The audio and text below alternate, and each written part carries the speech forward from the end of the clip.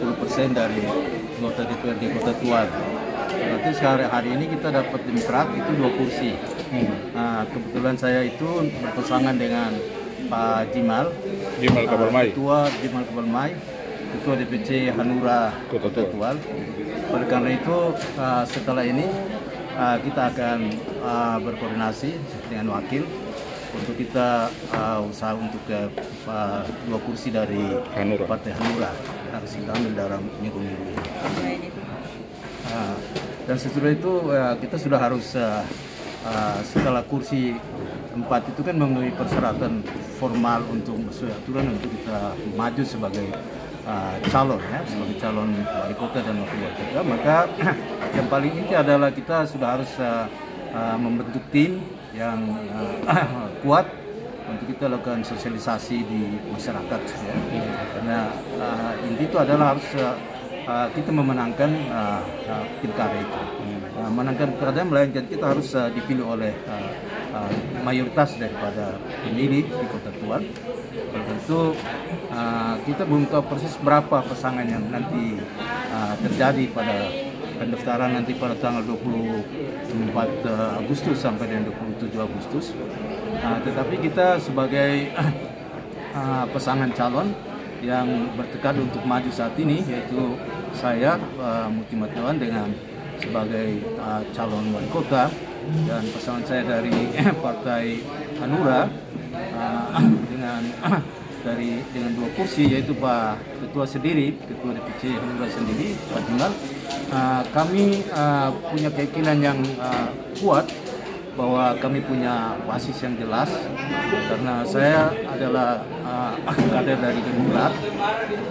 Uh, anak saya saat ini sebagai ketua DPC Kota Tual dari Demokrat.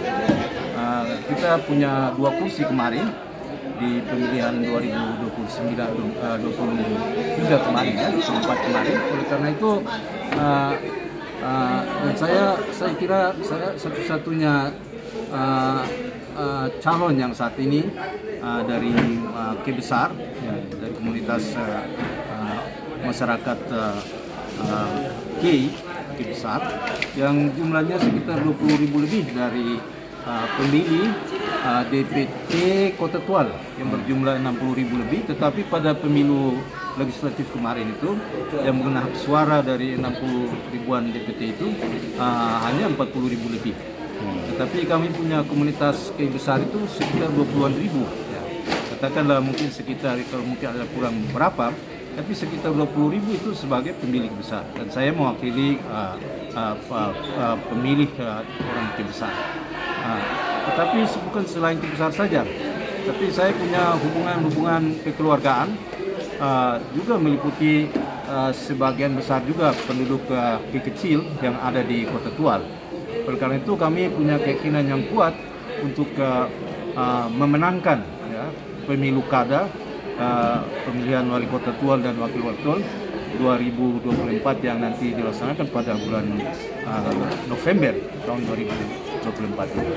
Oke baik Pak Muti kira-kira Kota Tual ke depan ini seperti apa Pak? Mau apa yang dibutuhkan Uh, Kota Kota Tual ke depan? Tual, uh, uh, pasangan kami uh, kebetulan uh, saya orang birokrat yang sudah melaksanakan tugas selama 32 tahun baik sebagai pegawai honor sebelumnya maupun diangkat sebagai pegawai negeri di Kota Tual uh, sebelumnya Maluku Tenggara dan setelah pemekaran itu Kota Tual uh, uh, saya punya jembatan-jembatan strategis dalam uh, pembangunan Maluku Tenggara uh, yang dulu uh, terdiri dari 8 uh, kecamatan. Saat ini sudah dimekarkan menjadi lima kabupaten kota di uh, Maluku Tengah yang kita sebut sering sebut di Maluku Tenggara Raya.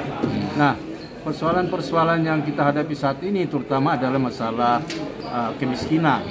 Kemiskinan di Kota Tual masih berjumlah sekitar 30-an persen, ya, 30-an persen dari uh, jumlah uh, penduduk Kota Tual yang berjumlah saat ini 90 ribu lebih. Iya. Nah, itu artinya bahwa sekitar uh, uh, 20 ribuan penduduk Kota Tual itu masih uh, ter, uh, dikategorikan sebagai uh, penduduk miskin. Oleh karena itu uh, saya punya latar belakang sebagai orang ekonomi jurusan pembangunan. Saya sangat um, uh, tahu persis bagaimana cara mengatasi uh, masalah kemiskinan. Nah, kota tua juga selama ini berfluktuasi dalam tingkat uh, inflasi yang tinggi kadang-kadang itu bahkan kita nomor urut satu di Indonesia uh, dan uh, alhamdulillah saat ini memang uh, uh, ada apa uh, angka-angka yang normal tetapi uh, saya kira uh, fluktuasi itu akan berjalan. Bisa saya tiba-tiba uh, tinggi. Nah inflasi yang tinggi itu uh, semakin tinggi tingkat inflasi maka uh, tingkat kemiskinan orang-orang yang ada di garis kemiskinan mendekat garis kemiskinan itu kalau terjadi inflasi maka mereka juga akan uh, terperangkap menjadi uh, jumlah penduduk miskin. Oleh karena itu maka uh, konsep uh, kita yaitu utamanya sekali adalah kita harus meningkatkan uh, pendapatan kota tua hmm. yang kita sebut dengan uh, gross uh, apa produk domestik regional bruto atau PDRB. Hmm. Nah, PD, PDRB harus ditingkatkan karena kita tahu bahwa kemiskinan itu kan berarti uh, kita melihat jumlah penduduk rata-rata, hmm. jumlah penduduk dibagi dengan uh, PDRB itu kita akan mencapai angka apakah angka itu di atas garis kemiskinan sehingga kalau mayoritas garis kemiskinan maka kita um, di atas itu maka uh, penduduk semakin sama makin banyak yang dikategori sebagai penduduk bukan miskin. Tapi kalau PDRB itu relatif sedikit dan uh, apalagi pertumbuhannya itu kecil, uh, di lain pihak kalau jumlah penduduk kita bertambah uh, uh, dengan jumlah per, apa angka presentasi yang besar, maka uh, kita akan mengalami uh, apa kesulitan untuk uh, mengeluarkan uh, dari lingkaran kemiskinan itu. Oleh karena itu uh, kita bagaimana meningkatkan PDRB? Hmm. PDRB itu hanya bisa ditingkatkan kalau masyarakat itu terlibat dalam kegiatan-kegiatan produktif. Hmm. Ya. Kegiatan produktif itu berarti masyarakat harus menghasilkan barang dan jasa. Hmm. Barang dan jasa itu uh, dijual di pasar baru orang mendapat uang. Hmm. Nah, uh, maka meningkatkan PDRB. PDRB juga bisa meningkat uh, hanya dengan uh, tingkat inflasi. Kalau yang seperti itu maka walaupun PDRB tinggi, tetapi sebenarnya tidak bisa meningkatkan uh, menurunkan angka kemiskinan yang real. Iya. Nah, oleh karena itu maka uh, saya uh, punya keinginan yang cukup lama bahwa memang selama ini kita memang dalam Maluku Tenggara dan Kota Tual, tetapi kita bukan pengambil keputusan. Hmm. Oleh karena itu maka saat ini saya uh, maju sebagai calon uh, uh, wali kota. Uh, mudah-mudahan saja Allah berkenan saya menjadi wali kota Tual sebagai pengambil uh, keputusan decision maker di pembangunan kota Tual. Maka saya uh, harus menerapkan konsep-konsep pembangunan yang uh, saya yakini saya pelajari. Saya juga seorang dosen yang sudah 20 20 tahun lebih saya menjadi dosen di perguruan tinggi yang ada di tempat ini. Maka saya menerapkan ilmu yang saya pelajari selama ini untuk uh, meningkatkan uh, PDRB Kota Tua. Nah, PDRB itu walaupun naik, tetapi kalau bukan berasal daripada orang-orang yang kita sebut dengan orang miskin tadi, maka PDRB yang naik itu hanya memberi apa itu peningkatan pendapatan bagi masyarakat yang sudah uh, punya pendapatan yang mereka yang tidak dikategori sebagai orang miskin tadi. Tapi orang miskin itu uh, tetap uh, ada dalam kemiskinan. Kalau memang itu tidak diberdayakan masyarakat miskin. Oleh karena itu maka uh, beberapa konsep yang harus dilakukan terutama adalah uh, meningkatkan SDM, terutama SDM masyarakat miskin itu.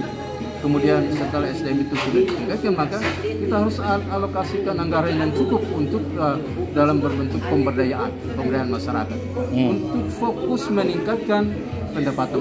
Salah satu faktor untuk melihat kemiskinan juga adalah uh, apa itu perumahan yang layak. Namun saya kalau jadi itu maka saya fokus untuk menuntaskan rumah tidak layak huni di Kota Tua sebagai salah satu bagian daripada uh, kriteria-kriteria uh, kemiskinan itu. Dan kedua adalah harus meningkatkan pendapatan Berarti Bapak dan Pak JK ya, siap ya, menuntaskan ya, semua permasalahan yang ada di Kota Tua ya. anggota hmm. DPR yang sudah senior, hmm. Uh, maka saya kira kami juga sangat memahami berbagai masalah yang dihadapi oleh uh, Kota Tual selama ini maka kami akan lakukan itu. Oke, Ya. terima kasih.